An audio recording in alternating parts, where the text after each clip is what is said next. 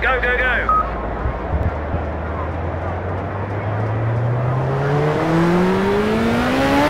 Okay, just a reminder on your outlap, the tyres are cold so the car will be slippery.